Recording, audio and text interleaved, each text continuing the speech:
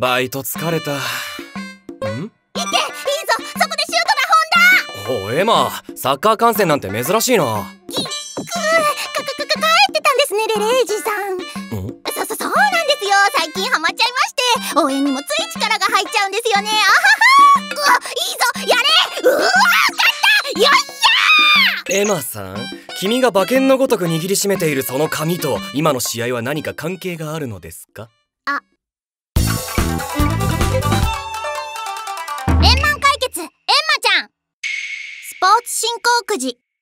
お前またよからねかと今回はなんだ？野球賭博ならぬサッカー賭博か？えー、違います。これはトトですトト。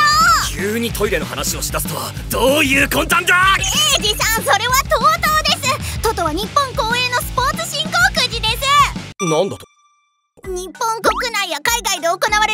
の試合の勝敗を予想してその結果に応じて配当がもらえる公営のギャンブルです。なるほど。光栄なら安心だな。でしょ？それに理論上の最高当選金額はなんと5億円。これはジャンボ宝くじやロト6に引けを取らない数字です。おおそれはすごいな。さらにそれらに比べて当選確率も高いんです。1等が当たる確率が2000万分の1である年末ジャンボに対しトトの当選確率はなんと159万分の 1!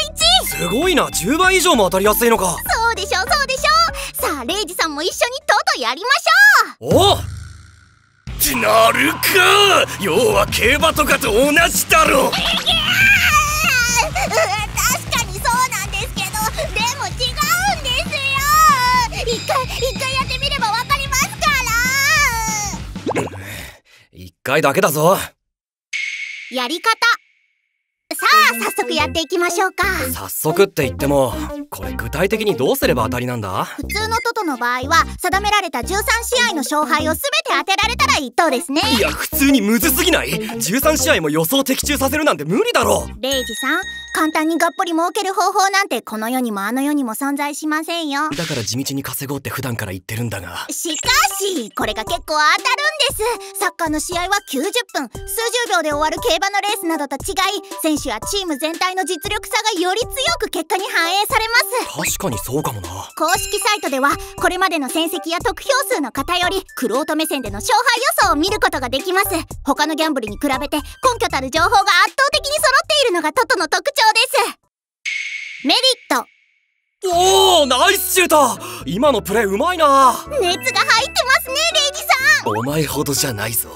しかしこうしてサッカーの試合をちゃんと見たのは初めてだな。最初はルールもあんまり分かってなかったけどいざ見てみると面白いもんだ。これこそスポーツ振興くじ最大のメリット。くじを通してスポーツ観戦も楽しめることです。たとえくじが外れてもサッカー自体を楽しむことができるので穏やかな気持ちであー何ミスしてんですかこら私の金がかかってるの分かってます！言ったそばから。かけ方。あー残念。負けちゃったか。よっしゃー！さすがは私の見込んだチーム。すごいなエマ。さっきから的中させまくってるじゃないか今のところ13試合中12試合的中してます。えマジか。ってことは次の試合。これが当たれば1等です。こんなビッグチャンス初めてじゃないか？今日まで大量の試合を見ていろんなかけ方をしてきた甲斐がありました。おかげで借金は増えましたが、うん今聞き捨てならないセリフが聞こえたんだが。明日の最終試合これだけは外せません。この試合でクソザコスペランカーズが勝てば全ての負け分を取り返すことができます。なんだそのクソ弱そうな名前のチームは。大丈夫なのか？大丈夫です。バラエティ番組で小学生チームに負けたこともあるチームですから。こっ全然大丈夫じゃねえじゃねえか。なんでこっちのチームに投票したんだよ。ちの方が圧倒的にオッズが高いんですよ。安心してください。秘策があります。秘策。試合当日。エマのやつどこに行ったんだ？またよからぬことを企ててないといいがさあ選手入場です。おそろそろ試合が始まるな。ってあいつ何してんだ？秘策それは私自身がキーパーになることです。なんで出してもらえたんだよ。っていうか相手はプロだぞ。素人が出てどうにかなるわけが。心配無用。私にはこれがあります。うわー。必殺エンマザハンすごいけど判権的に大丈夫なの？ド約款試合終了。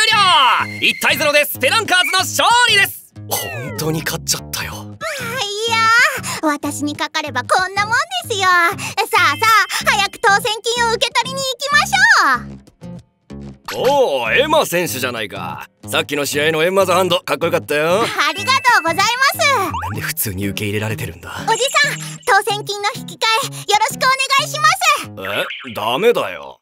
選手や審判などサッカーの試合に関わった人にはととも売れない決まりになってるんだ。だからこのくじは無効だね。そんなまあこうなると思ったよ。あの試合に出るのだって監督に3000万円積んで頼んだのに。おいお前今なんつった？あ。こうして0時の返済額はさらに増えるのであった